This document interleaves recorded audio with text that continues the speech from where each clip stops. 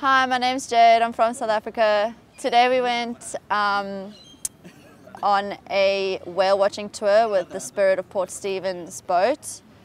Um, it was really nice, nice big boat. There were different levels so you can stand up at the top.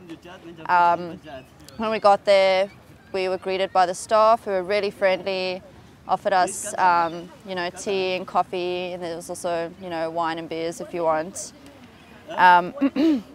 On the way, we saw really awesome views. We did get to see a, a couple whales, even though it's not whale watching season. So we were pretty lucky with that. Um, yeah, it was great fun. It was we got a bit splashed, but it was all part of the fun. Um, we were out there for a couple hours, so it was a nice long tour, and yeah, it was great.